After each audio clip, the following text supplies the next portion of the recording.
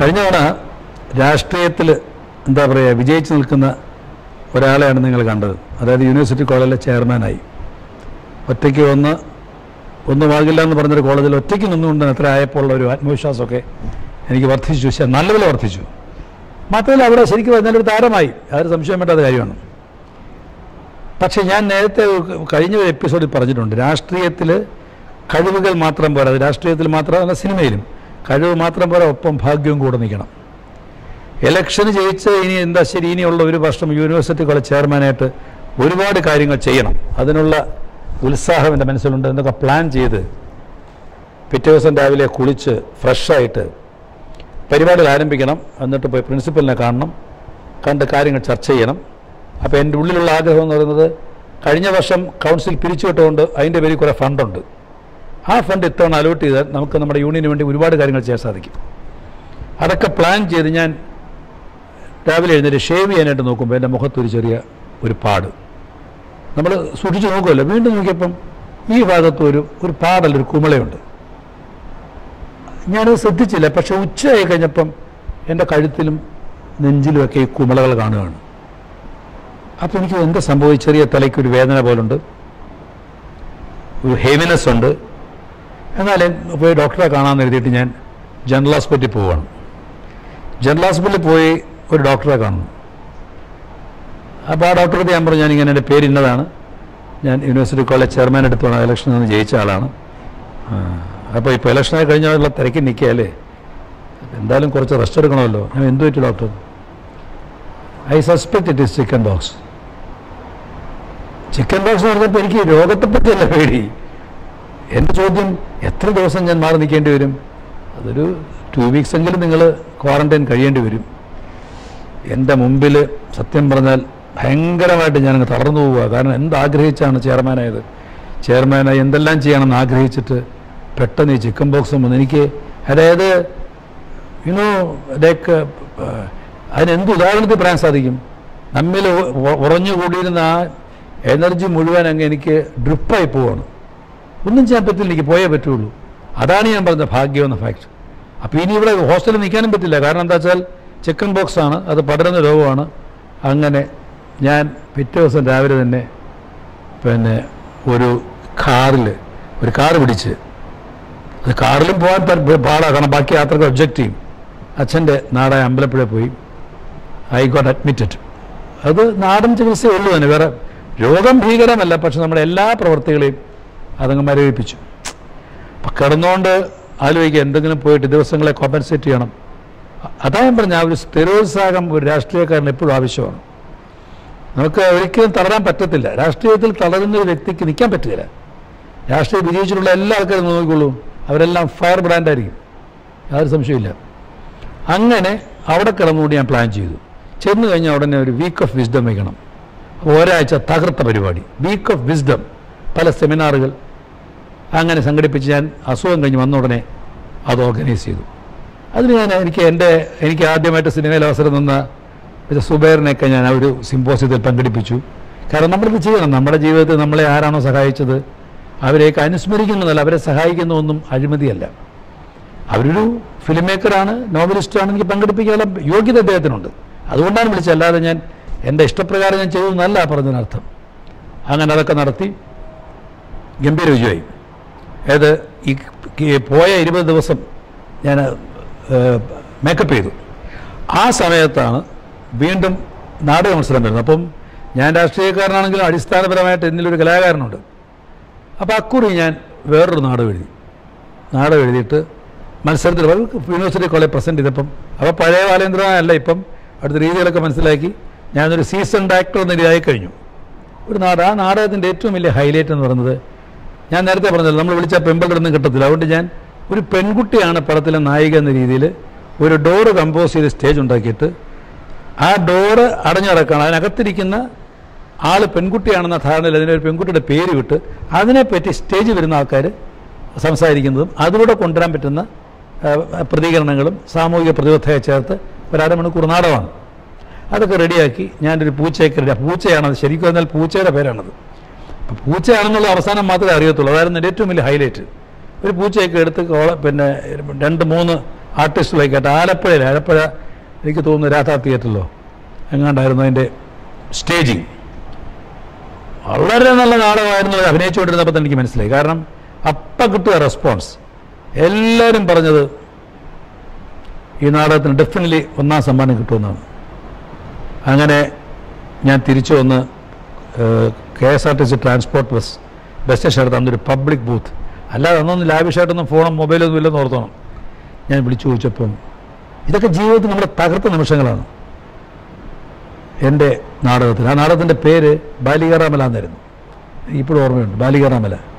അതിന് യാതൊരു രീതിയിലുള്ള സമ്മാനങ്ങളും ഇല്ല. ശരിക്കും ഞാൻ അപ്പോൾ എന്റെ മനസ്സ് പറഞ്ഞില്ല. ഇത് എന്നോട് കാണിക്കുന്ന അനീതിയാണ്. അല്ലെങ്കിൽ എനിക്ക് എനിക്ക് എന്തെങ്കിലും കിട്ടേണ്ട ഒരു ഒരു ഒരു നാടകമാണെന്നുള്ള ബോധ്യം എനിക്കുണ്ടായിരുന്നു. ഏറ്റവും രസം വർഷങ്ങൾ കഴിഞ്ഞു. വർഷങ്ങൾ വെച്ചാൽ എത്രയോ വർഷങ്ങൾ കഴിഞ്ഞിട്ട് ഞാനും ചെറിയാനും എപ്പോഴും സുഹൃത്തുക്കളാണ്. ചെറിയാൻ ഇന്ന് കോൺഗ്രസിന്റെ കെ എസ് യുവിന്റെ പ്രതിനിധിയാണ്. ഒരു നല്ലൊരു സായന വേള ഞങ്ങൾ കൂടിക്കൊണ്ടിരുന്നപ്പം ചെറിയാൻ എന്നോട് പറഞ്ഞു മേനൻ ഞാനൊരു തമാശ പറയാം. ഇപ്പം പറയാമല്ലോ. അന്ന് ആലപ്പുഴ നടത്തിയ നാടക മത്സരത്തിൽ നിങ്ങൾക്ക് ഏറ്റവും നല്ല നടനം സംവിധായകന്റെ അവാർഡ് ഉണ്ടായിരുന്നു പിന്നെ ഞങ്ങൾ കൊടുക്കണ്ടെന്ന് പറഞ്ഞു. കാരണം നിങ്ങൾ ഞാൻ കയറി പോയ ആളല്ലേ. അപ്പം നിങ്ങൾ നന്നാക്കേണ്ട ആവശ്യം എന്താണെന്ന് വെച്ചാൽ ഞാൻ ചിരിച്ചു. ആ ചിരി എന്നെ സംബന്ധിച്ച് ഒരുപാട് കാര്യങ്ങൾ ഈ പറഞ്ഞു തന്നു. കലാകാരന് സമൂഹത്തിൽ വളരണമെങ്കിൽ ഇന്നത്തെ ചുറ്റുപാടിൽ ഒരു രാഷ്ട്രീയ സംഘടനയുടെ രാഷ്ട്രീയ പദ പിന്തുണ വേണം. ബാലചന്ദ്രൻ മേനോൻ യൂണിവേഴ്സിറ്റി കോളേജിൽ യൂണിയൻ ചെയർമാൻ. ഞാൻ കൗൺസിലറുമായിരുന്നു. അങ്ങനെ ഞാൻ യൂണിവേഴ്സിറ്റി യൂണിയൻ സെക്രട്ടറിയായി. അപ്പോഴാണ് യൂണിവേഴ്സിറ്റിയുടെ നാടകോത്സവം നടന്നു. ആ നാടകോത്സവത്തിൽ ബാലചന്ദ്ര മേനോന്റെ നേതൃത്വത്തിലുള്ള നാടകം ഗംഭീരമായിരുന്നു. നല്ല നടനുള്ള അവാർഡ് ബാലചന്ദ്രന് കിട്ടുമെന്ന് എല്ലാവരും പ്രതീക്ഷിച്ചു റിസൾട്ട് വന്നപ്പോൾ ബാലചന്ദ്ര മേനോൻ ഔട്ട്. യഥാർത്ഥത്തിൽ വിധികർത്താക്കളെ നിശ്ചയിച്ചത് ഞാൻ ഉൾപ്പെടെയുള്ള യൂണിവേഴ്സിറ്റി യൂണിയൻ ഭാരവാഹികളാണ്. യഥാർത്ഥത്തിൽ എന്താണ് സംഭവിച്ചതെന്ന് അറിഞ്ഞപ്പോൾ ഞാൻ ഞെട്ടിപ്പോയി. കാരണം ഞങ്ങൾ നിശ്ചയിച്ച വിധികർത്താക്കൾ കോൺഗ്രസ് ആഭിമുഖ്യമുള്ളവരാണ് എസ് എഫ് ഐയുടെ ചെയർമാനായിരുന്ന ബാലേന്ദ്രവൻ അങ്ങനെ നല്ല നടനാകണ്ട എന്ന് അവർ തീരുമാനിച്ചു. അങ്ങനെയാണ് ബാലേന്ദ്രവൻ പുറത്തായത്. സത്യം പറഞ്ഞാൽ അത്തരമൊരു പക്ഷപാതത്തിൽ എനിക്ക് വളരെ മാനസികമായ വിഷമം തോന്നി. പിന്നീട് ബാലചന്ദ്രമനോട് തന്നെ ഈ കാര്യം ഞാൻ തുറന്നു പറയുകയും ചെയ്തു. അവരുടെ സപ്പോർട്ടില്ലാതെ ഒരു അവാർഡ് നിങ്ങൾക്ക് കിട്ടുകയില്ല. പൊതുജനങ്ങളുടെ അവാർഡ് എന്നുള്ള സാധനമാണ് ഞാനെന്നും ബലവതിക്കുന്നത് അത് ധാരാളമായിട്ടും ഐശ്വര്യമായിട്ട് നീ കിട്ടിയിട്ടുണ്ട് കിട്ടുന്നുമുണ്ട്. അല്ലാതെ നോക്കുകയാണെങ്കിൽ എല്ലായിടത്തും ഈ പറഞ്ഞ നടന്നുകൊണ്ടിരിക്കുന്ന ഇപ്പോഴും നടന്നുകൊണ്ടിരിക്കുന്നത് അവരുടെ സെറ്റപ്പുകൾ എന്ന് പറയും. അവർക്ക് സ്ഥിരം വിഗ്രഹങ്ങൾ അവർക്ക് അവാർഡ് കൊടുക്കുക അതിന്റെ ബെനിഫിറ്റ് പരസ്പരം ഉണ്ടാക്കുക എന്നുള്ളതല്ലാതെ അതുകൊണ്ട് ഇപ്പം നാട്ടുകാർക്കും അവാർഡെന്ന് പറഞ്ഞാൽ പ്രത്യേക ബഹുമാനമൊന്നുമില്ല. നമുക്ക് കിട്ടാവുന്ന ഏറ്റവും വലിയ അവാർഡെന്ന് പറയുന്നത് ഒരു പക്ഷേ ഏതാ പറയുന്നത് നാം നടക്കുമ്പോൾ നമുക്കെതിരെ വരുന്ന ഒരാൾ നമ്മുടെ മുഖത്ത് നോക്കി നമുക്ക് തരുന്നൊരു ചിരിയുണ്ട്. അത് കാപട്യത്തിന്റെ ചിരിയായിരിക്കില്ല. നമ്മളെ നിങ്ങൾ ഇന്നാരല്ലേ എന്ന് ഉള്ളർത്ഥമാക്കിയിട്ട് നമ്മുടെ മുഖത്ത് നോക്കി തരുന്ന ഒരു ഒരു ഒരു ചിരി എന്ന് പറഞ്ഞതിന് ഭയങ്കര മില്യൺ ഡോളർ വാല്യൂ ആണ്. അതാണ് നമുക്ക് കിട്ടുന്ന അംഗീകാരം. അത് അത് കിട്ടുക എന്നുള്ളതാണ് പ്രധാനം. അത് അവാർഡ് വാങ്ങിച്ചുകൊണ്ടിരിക്കുക ആരാ അവാർഡ് വാങ്ങിക്കുന്ന ആൾ എന്ന് ചോദിക്കുന്ന അവസ്ഥ വരാൻ പാടില്ല. അപ്പം അതുകൊണ്ട് രാഷ്ട്രീയത്തിന്റെ പിന്തുണയില്ലാതെ ഈ പറഞ്ഞ അംഗീകാരങ്ങളും സമൂഹ സമൂഹ മാധ്യമങ്ങളിലും ഒക്കെ തന്നെ ഒരു പിന്തുണ നിങ്ങളാരും ഞാൻ അതിന്റെ പേര് പറയുന്നില്ല. എടുത്തു നോക്കിക്കോളൂ. ഓരോ രാഷ്ട്രീയ പാർട്ടിക്കും അവരുടേതായ കലാകാരന്മാരുണ്ട്. അവരെ അവർ പ്രോത്സാഹിപ്പിക്കത്തുള്ളൂ. ഒരു രാഷ്ട്രീയവും ഇല്ലെങ്കിൽ കോൺഗ്രസിൽ ഗ്രൂപ്പില്ലാതിരിക്കുന്ന അവസ്ഥ വരും. ഗ്രൂപ്പില്ലാതിരുന്നാൽ നമുക്ക് ഒരിക്കലും ഒരു സീറ്റ് കിട്ടത്തില്ല. ഗ്രൂപ്പ് വേണം. അതാണ് രാഷ്ട്രീയം. പക്ഷേ ഞാൻ എന്നെ സംബന്ധിച്ച് ഞാൻ ആദ്യം മുതലേ തന്നെ എന്റെ ഒരു നിലപാടുണ്ട്. അർഹതയുണ്ടെങ്കിൽ മാത്രം അംഗീകാരം കിട്ടിയാൽ മതി. ഇപ്പോൾ എനിക്ക് വനിതയുടെ ലൈഫ് ടൈം അച്ചീവ്മെന്റ് അവാർഡ് ഇപ്പം തന്നു. ഞാൻ വേദിയിലും പറഞ്ഞു. I feel I deserve it അവിടെ ഞാൻ വാങ്ങിക്കുന്നു അത് കിട്ടിയതുകൊണ്ട് എല്ലാം പൂർണമായി എന്നുണ്ട് അർത്ഥമുണ്ട്. ഒന്നുമില്ല. പല ഇത്രയൊക്കെ ഞാൻ ചെയ്ത സ്ഥിതി എനിക്കിത് തരാം എന്നൊരു തോന്നൽ നമുക്കുണ്ടാവണം. എനിവേ അപ്പോൾ അത് കഴിഞ്ഞു. അപ്പോൾ ആ കോളേജിൽ പഠിക്കുമ്പോൾ ആ സാധനം കഴിഞ്ഞു. അപ്പോൾ എനിക്ക് തോന്നുകയാണ് എങ്ങനെയെങ്കിലും എന്റെ മേഖല സിനിമ ആയതുകൊണ്ട് അതിൽ കിടക്കണമല്ലോ. ഇപ്പോൾ തേർഡ് ഇയറാണ് ഇതുകൂടെ കഴിഞ്ഞാൽ ഞാൻ ആലോചിക്കുന്നത് ഇപ്പം എന്റെ മെയിൻ പ്രശ്നം എന്താ വെച്ചാൽ പൂന ഫിലിം ഷൂട്ടിൽ പോകുക എന്നുള്ള ആഗ്രഹം എന്റെ അസ്തമിച്ചു. കാരണം എന്റെ രാഷ്ട്രീയത്തിലെ പ്രവേശനവും വഴിമാറിയുള്ള സഞ്ചാരമൊക്കെ എന്റെ അച്ഛന് വളരെ അപ്രിയം ഉണ്ടാക്കി. അത് അച്ഛനെ ഒരിക്കലും ഞാൻ കുറ്റം പറയത്തില്ല. അച്ഛൻ എം ഡി എടുത്ത് എം ഡി സാറിനോട് പറഞ്ഞ കറക്റ്റാണ്. I know he's talented is gifted he's intelligent why is wasting his time എന്ന് എന്റെ അച്ഛൻ ചോദിച്ചെങ്കിൽ അതൊരു അച്ഛൻ എന്നുള്ള കടമ ചോദിച്ചാണെന്ന് ഞാൻ മനസ്സിലാക്കുന്നത്. പക്ഷേ എന്റെ പാഷൻ അച്ഛൻ മനസ്സിലാക്കിയില്ല എന്നുള്ളൂ. അപ്പോൾ എന്താ വെച്ചാൽ പോയി പഠിക്കണമെങ്കിൽ പിന്നെയും കാശ് വേണം. ആ കാശിന് വേണ്ടി എന്റെ അച്ഛന്റെ മുമ്പിൽ പോയി കൈകെട്ടി നിൽക്കാൻ എനിക്ക് മാനസികമായ ബുദ്ധിമുട്ട്. അപ്പം എന്താ മാർഗം? അപ്പം അടുത്ത മാർഗം എന്ന് പറഞ്ഞാൽ ആരുടെയെങ്കിലും സഹായിയാകുക എന്നുള്ളതാണ്. ഓർത്തു നോക്കണം. പൂനെ പോകണം ഇൻസ്റ്റിറ്റ്യൂട്ടിൽ പഠിക്കണം ഡയറക്റ്റ് ചെയ്യണം എന്ന് ആഗ്രഹിച്ച ഞാനിപ്പോൾ പൂനെ ഇൻസ്റ്റിറ്റ്യൂട്ടിൽ പോകാൻ പഠിക്കാൻ പറ്റുന്നില്ല. ഒരു നിവൃത്തികളായിരിക്കും ഇപ്പം ഞാനിപ്പം യൂണിവേഴ്സിറ്റി കോളേജിലെ ജിയോളജി മൂന്നാം വർഷ വിദ്യാർത്ഥിയായിട്ടിരിക്കുകയാണ് ഇപ്പം പരീക്ഷ എഴുതണം റിസൾട്ട് വന്നാൽ എന്താണെന്നറിയില്ല. അങ്ങനെ ഞാൻ സാറിനെ കണ്ടു. അപ്പോൾ സാറ് പറഞ്ഞു മേനു എത്ര താല്പര്യമാണെന്നുണ്ടെങ്കിൽ സാറിന് ആ നാടകം കഴിഞ്ഞോടുകൂടി ഞാനും സാറുമായിട്ട് ഭയങ്കര ഒരു കെമിസ്ട്രി ഉണ്ടായി. സാറിന് എന്താ എന്റെ ഒരു സാറിന്റെ വെൽവിഷറായിരുന്നു സാറിന് ഒരു തോന്നൽ എന്നെ എവിടെങ്കിലുമൊക്കെ ഒന്ന് എന്താ പറയുക ഒന്ന് പ്രൊമോട്ട് ചെയ്യണമെന്ന്. സാറ് പറഞ്ഞു ഞാൻ ഒരു കാര്യം ചെയ്യാം. ഞാൻ കെ ടി മുഹമ്മദ് ഒരു സിനിമ ചെയ്യുന്നുണ്ട്. അപ്പോൾ അവിടെ കെ ടി മുഹമ്മദിന്റെ സംവിധാന സഹായിയായിട്ട് നിൽക്കാനുള്ള ഒരു ശുപാർശ കത്ത് തരാമെന്ന് അദ്ദേഹം ഒരു ശുപാർശ കത്ത് തന്ന്. ഞാൻ കത്തും കൊണ്ട് കോഴിക്കോട് പോയി. പക്ഷെ കോഴിക്കോട് പോയി ഞാൻ ഈ കത്തുമായിട്ട് ചെന്നിട്ട് എന്താണ് അവിടുത്തെ അവിടെ നിന്നുള്ള ഞാൻ കെ ടിയെ കാണുന്നില്ല. കെ ടിയെ പിടിച്ച് ചെന്നപ്പോൾ കെ എട്ട് കെ ടി കെ ടിയുടെ നാടക ട്രൂപ്പായിട്ട് ബന്ധപ്പെട്ടുള്ള ആൾക്കാർ ഇരിപ്പുണ്ടായിരുന്നു.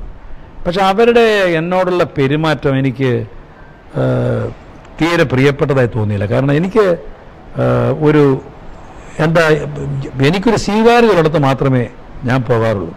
അതുകൊണ്ട് തന്നെയാണ് നിങ്ങൾ എന്നെ പല ചടങ്ങുകളിലും കാണാത്തത്. ചടങ്ങിൽ പങ്കെടുക്കാൻ നൂറായിരം ആൾക്കാരുണ്ട്. എന്തിന് നമ്മൾ പോകണം? നമുക്കൊരു സ്വീകാര്യത വേണം. അല്ലാതെ ഒരു വിളക്ക് വെച്ച് കഴിഞ്ഞാൽ ഉടനെ വിളക്ക് തിരികെ എത്തിക്കാനായിട്ടുള്ള മത്സരത്തിലൊന്നും ഞാൻ പങ്കെടുക്കാറില്ല. ഞാൻ പോകണമെന്നുണ്ടെങ്കിൽ അതിന്റെ റിലവൻസ് എനിക്കുണ്ടാവണമെന്ന് ഞാൻ തെറ്റൊന്നുമല്ല. അത് വെറുതെ പോയിരിക്കാൻ നമുക്ക് സമയമില്ലാത്തതുകൊണ്ടാണ്. അത് ഇഷ്ടപ്പെടുന്ന ആൾക്കാരുണ്ട് അവരെ ഞാൻ കുറ്റപ്പെടുത്തുന്നുമില്ല. മനസ്സിലായില്ല? അപ്പോൾ പിന്നെ ഞാൻ അവിടെ ചെന്നപ്പോൾ എനിക്ക് തോന്നി. കാരണം അതിപ്പോൾ അവരാരും എന്നെ അപമര്യാദയായിട്ട് പെരുമാറുന്ന അർത്ഥമില്ല. പക്ഷേ അവരുടെ രീതികൾ എനിക്ക് ഞാൻ അത്ര സ്വീകാരനല്ലെന്ന് തോന്നി ഞാൻ തിരിച്ചു വന്നു. പോയതിന് സാർ ചോദിച്ചു. ഞാൻ പോയിട്ടെന്തായി? ഞാൻ പറഞ്ഞു ഇല്ല സാർ ഞാൻ പോയി അദ്ദേഹത്തെ നേരിട്ട് കണ്ടില്ല. പക്ഷേ എനിക്ക് ഒന്ന് മനസ്സിലായി സാർ. എനിക്കത് ശരിപ്പെടുമെന്ന് തോന്നുന്നില്ല. അപ്പോൾ സാർ പറഞ്ഞു എന്നാൽ ഇനി ഞാൻ മേനോട് കാര്യം മേനോനെ ഞാൻ കണ്ടുകൊണ്ടിരിക്കുന്നു. മേനോന്റെ രീതിയും സ്വഭാവങ്ങളും. പിന്നെ സാർ എന്നെ യൂണിവേഴ്സിറ്റി കോളേജ് ചെയർമാൻ എന്ന രീതിയിൽ പല വേദികളിൽ ഞാൻ പ്രസംഗിക്കുന്നത് കണ്ടു. എന്റെ ഇൻട്രാക്ഷൻസ് കണ്ടു. എല്ലാം കണ്ടു പോയിന് സാറ്. പോയൻ സാറിനെ പഠിച്ചിരിക്കുന്നു. ഞാൻ നിങ്ങളോടൊരു കാര്യം പറയാം. ഞാൻ നിങ്ങളെ മനസ്സിലാക്കിയിടത്തോളം നിങ്ങൾക്ക് ജീവിതത്തിൽ ഒരാളുടെ അസിസ്റ്റന്റ് ആകാൻ പറ്റില്ല. ഒരു അസിസ്റ്റന്റ് ആകുക എന്ന് പറയുന്നതിനും അതിന്റേതായ യോഗ്യതകൾ വേണം. ആ യോഗ്യതകൾ നിങ്ങൾക്കില്ല. നിങ്ങളുടെ സ്വഭാവത്തിനും വർത്തമാനത്തിനും രീതിക്കുമെല്ലാം ഒരു ആ രീതികളൊന്നും തന്നെ ഒരു അസിസ്റ്റന്റായിട്ട് നിൽക്കാൻ പറ്റിയതല്ല. അതിന് ഭൂഷണമായിട്ടുള്ളതല്ല. സാർ പിന്നെ എന്റെ ഒരു ആഗ്രഹം നിൽക്കുകയല്ലേ സാർ? ഈ സിനിമയിൽ പോകണം എന്നുള്ളതിന്റെ ഏറ്റവും വലിയ ഇത്രയും കാലം ജീവിച്ചിരുന്നത് തന്നെ അതിനു വേണ്ടിയാണ്. ഇത്രയൊക്കെ ഞാൻ പ്രൂവ് ചെയ്തിട്ടുണ്ട് എന്റെ കലാജീവിതത്തിൽ.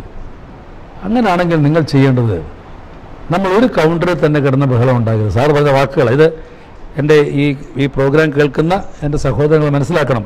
നമ്മൾ ആഗ്രഹിക്കുന്ന പോലെ ഒന്നും സിനിമ നടക്കുകയില്ല. We have to wait our own our own time will come later പറഞ്ഞു ഒരു കൗണ്ടറിൽ എല്ലാവരും കിടന്ന് തിരക്കുണ്ടാക്കരുത്. ഉണ്ണിയപ്പത്തിന് വേണ്ടിയിട്ട്. അതാ പറഞ്ഞ പുള്ളി. ഉണ്ണിയപ്പം കിട്ടുന്ന കൗണ്ടർ അതായിരിക്കും. പക്ഷേ വേറെയും കൗണ്ടർ കാണും അവിടെ ഉണ്ണിയപ്പം കിട്ടുന്നത്. നമുക്ക് ഉണ്ണിയപ്പം കിട്ടിയാൽ പോരെ? അപ്പോൾ ആ കൗണ്ടറിൽ പോകണമെങ്കിൽ അല്പം ബുദ്ധിമുട്ടാണെങ്കിലും അവിടെ പോയാൽ മതി നിങ്ങൾ. നിങ്ങൾക്ക് കിട്ടും. സാർ ഞാൻ എന്തിനാണ് സാർ പറയുന്നത്? എനിക്ക് മേനോന്റെ രീതികൾ കണ്ടപ്പോൾ എനിക്ക് തോന്നുന്നു മേനോന് പറ്റുന്ന ഒരു ജോലിയുണ്ട്. എന്താണത്? പത്രപ്രവർത്തനയാണ് ഞാൻ സാർ എനിക്കങ്ങനെ അനുഭവം പരിചയമൊന്നുമില്ല പത്രക്കാരനായിട്ട്. വേണ്ട അതിന് കോഴ്സ് ഉണ്ടല്ലോ.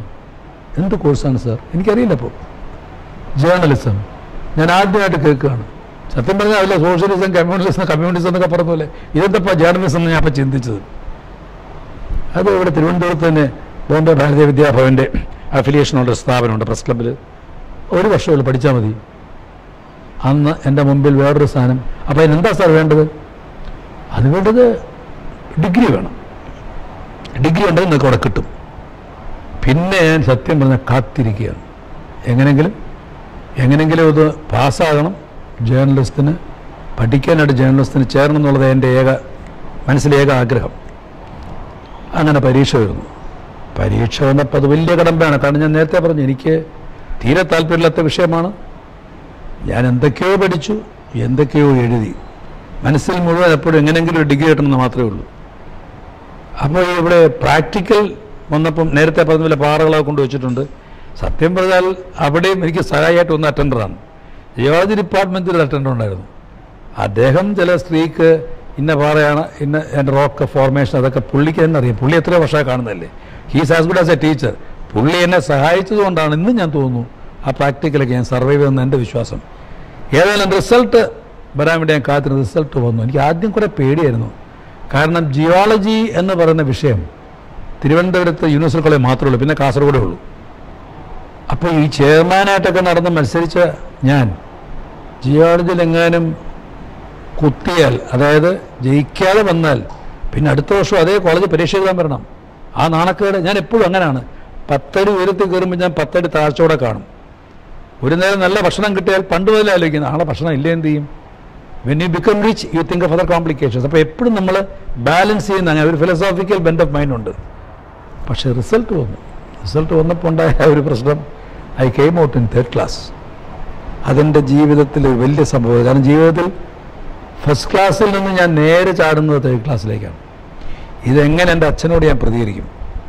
അച്ഛനോട് അങ്ങനെ പറയാൻ പറ്റും. S S L C first class pre degree first class distinction plus medical college admission കിട്ടിയ ആളാണ് ഞാൻ. അത് ഞാൻ പറയാൻ പറ്റുമതാ മെഡിക്കൽ കോളേജ് അഡ്മിഷൻ കിട്ടിയിട്ട് പ്രീ കഴിഞ്ഞിട്ട് ഞാൻ എന്റെ അച്ഛനോട് സമരം ചെയ്താണ് പോകാൻ പറ്റത്തില്ല എന്ന് ഞാൻ പറഞ്ഞത്. ഇപ്പോൾ ഈ മകൻ ഇഷ്ടപ്രകാരം പോയി ഡിഗ്രിക്ക് പഠിച്ചു.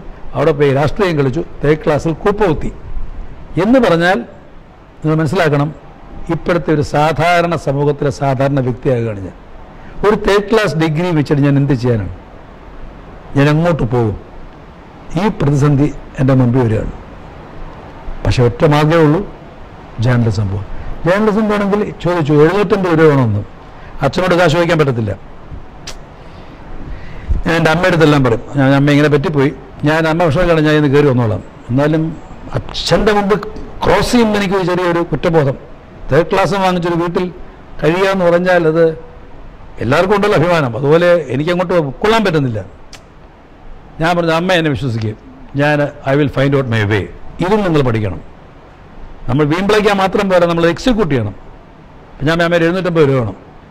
അത് അമ്മയ്ക്ക് തരാൻ നിർത്തിയില്ലെങ്കിൽ അമ്മയുടെ ഏതെങ്കിലും ഒരു വളയോ വല്ലതും പണയം വന്നാൽ മതി. ഞാനത് തിരിച്ചെടുത്ത് തരാം. എന്നാലും അച്ഛനോട് ചോദിക്കില്ല. അമ്മ അപ്പോഴേ ഊരി തന്നു. ഞാൻ നേരെ പോയി വിജയൻ നമ്മുടെ സുഹൃത്ത് വിജയൻ. കടയിൽ പോയി വിജയന് ഞാൻ വള കൊടുത്തു. വിജയൻ അതിന് is a friend in need is a friend in need വിജയന് ഞാനിത് ഈ വള കൊടുത്തു. വിജയൻ കൊണ്ടുപോയി. ആ വിജയൻ ആ വളയം കൊണ്ട് പണയം വയ്ക്കാൻ ആ റെയിൽ പാളത്തിൽ കൂടെ ഒറ്റയ്ക്ക് നടന്നു പോകുന്ന ദൃശ്യം അന്ന് എന്റെ മനസ്സിൽ പതിഞ്ഞാണ്. കൂട്ടത്തിൽ പോയിട്ട് മൂന്ന് വർഷം മുമ്പ് വിജയനും മരിച്ചുപോയി. ഇനി അദ്ദേഹത്തിന്റെ ആത്മാവ് ഞാൻ ഈ പറഞ്ഞേക്കുണ്ടായിരിക്കും അങ്ങനെ ജേർണലിസം ചേരുമ്പം ജേർണലിസത്തിൽ എന്റെ കൂടെ പഠിക്കാൻ വന്ന ആളാണ് വേണുനാവള്ളി യൂണിവേഴ്സിറ്റി കോളേജിൽ അദ്ദേഹം എന്റെ കൂടെ പഠിച്ചിട്ടുണ്ട്. എന്റെ സീനിയറാണ് അദ്ദേഹം. ഇവിടെ ഉണ്ടായിരുന്നു. അപ്പോൾ വേണുവായിട്ട് വേണുവായിട്ട് അങ്ങനെ അവിടെ ഒരു കമ്പനിയൊന്നുമില്ല എങ്കിലും ജേർണലിസ്റ്റിൽ എന്റെ സുഹൃത്തായി ഞാൻ ജേർണലിസം കാര്യമായിട്ട് അങ്ങെടുത്ത് പഠിച്ചു. വിശ്വസിക്കത്തില്ല. ജേർണലിസം ഞാൻ പാസ്സാകുമ്പോൾ എനിക്ക് എന്താ പറയുക റിപ്പ് റിപ്പോർട്ടിങ്ങിൽ ഫസ്റ്റ് റാങ്കും കിട്ടി. കേരളകുമതിയുടെ ഗോൾഡ് മെഡലും കിട്ടി. അന്ന് വരെയാണ് ഓഫർ ഹിന്ദുസ്ഥാൻ ടൈംസിൽ എനിക്ക് റിപ്പോയിൻമെന്റിന് രക്ഷപ്പെടാം. ഇതൊക്കെ കേട്ടപ്പം എന്റെ അച്ഛനൊക്കെ സന്തോഷമായി. റാങ്ക് കിട്ടിയില്ലേ? പക്ഷേ എന്റെ മനസ്സ് ആരോ പറഞ്ഞ പോലെ പിന്നെയും കുറുക്കന്റെ കണ്ണ് കോഴിക്കൂട്ടിലാണ്. എനിക്ക് ഹിന്ദുസ്ഥാൻ ടൈംസിലൊന്നും പോയിട്ട് കാര്യമില്ല. എനിക്ക് സിനിമയിൽ പോകണം അതിനെന്താ മാർഗം എന്ന് പറഞ്ഞപ്പോൾ എന്നോട് അവർ പറഞ്ഞു നാന എന്ന് പറഞ്ഞൊരു വാരികയുണ്ട്. അവർക്ക് മദ്രാസിൽ പ്രതിനിധിയില്ല. ഇപ്പോൾ ഒരു വേക്കൻസി ഉണ്ട്. അങ്ങനാണെങ്കിൽ നാനയിൽ ജോയിൻ ചെയ്യണം. ജോയിൻ ചെയ്ത വൈ എൻ വി സാർ പറഞ്ഞ പോലെ എനിക്ക് എല്ലാ സിനിമാക്കാരെയും കാണാം. അങ്ങനെ സിനിമാ രംഗത്ത് പ്രവേശിക്കാമെന്ന് കരുതിയിട്ട് ഞാൻ മനസ്സുകൊണ്ട് തീരുമാനിച്ച് ഞാൻ അമ്മയെടുത്ത് പറഞ്ഞു. അമ്മ ഞാനിതിന് പോകുന്നില്ല അമ്മ എന്നെ ശപിക്കുകയൊന്നും ചെയ്യരുത്. അപ്പോൾ എന്റെ അച്ഛൻ കണ്ടാൽ സ്വാഭാവികമല്ലേ? ഹിന്ദുസ്ഥാൻ ടൈംസ് ജോലിയും കളഞ്ഞ് പിന്നെ നാനാ എന്ന് പറഞ്ഞ സിനിമാ വരിക പോയി എന്ന് പറഞ്ഞാൽ ഏതെങ്കിലും അച്ഛൻ ഇഷ്ടപ്പെടുമോ? ഞാൻ അമ്മയെടുത്ത് ഇല്ലമ്മേ ഞാനത് പ്രൂവ് ചെയ്യാം. എനിക്കിത് ഇതല്ലെങ്കിൽ എനിക്ക് ജീവിതമില്ല എന്ന് പറഞ്ഞിട്ട് ഞാൻ മനസ്സോട് തീരുമാനിച്ചു. നാളെ അതിന്റെ എഡിറ്ററുണ്ട്. എഡിറ്ററെ പോയി ഒന്ന് കാണണം എന്ന് കരുതി. എന്റെ ഇന്ന് വരെ സമ്പാദിച്ച എല്ലാ സർട്ടിഫിക്കറ്റൊക്കെ പാക്ക് ചെയ്ത് ഞാൻ രാത്രി ഉറങ്ങാൻ കിടന്ന് എനിക്ക് ഇന്ന് ഓർമ്മയുണ്ട്. എന്റെ മുമ്പിൽ എന്റെ ഭാവി നിൽക്കുകയാണ്. ഇവിടെയാണ് തീരുമാനം എന്ന് പറയുന്ന സാധനം. ഒരിടത്ത് ഏറ്റവും വലിയൊരു പത്രത്തിൽ ഏറ്റവും നല്ല ശമ്പളത്തിൽ ബേസിക് പേയിൽ ഒരു ജോലി കിട്ടുന്നു. ഇപ്പുറത്തെ അൺസർട്ടനിറ്റിയാണ്. നാന എന്ന് പറയുന്ന ഒരു ചലച്ചിത്ര വാരികയുടെ എഡിറ്ററായിട്ട് ഞാൻ പോകണം. പോണോ വേണ്ടിയോ എന്നുള്ള ആശയ സംഘർഷത്തിൽ തലയ്ക്കരിയ സർട്ടിഫിക്കറ്റും വെച്ച് ഞാൻ കിടന്നുറങ്ങുന്ന ആ രാത്രി നമുക്ക് തൽക്കാലം തൽക്കാലം ഗുഡ് നൈറ്റ് പറയാം. അങ്ങനെ ഞാൻ ഈ പറയുന്ന കഥാപാത്രത്തെ കാണാൻ പോയി the man who really change my life in fact ഒരു open the door of cinema Malayalam cinema to me എന്നുള്ള സംഭവം എന്നെ സംബന്ധിച്ച് വളരെ പ്രധാനപ്പെട്ടാണ്. അപ്പോൾ അദ്ദേഹം മേളിലത്തെ മുറിയിലിരിക്കുന്നത് ഞാൻ പുറത്ത് ഭാഗത്തിരിക്കുന്ന ഫയലുമായിട്ട് നിൽക്കുന്നു.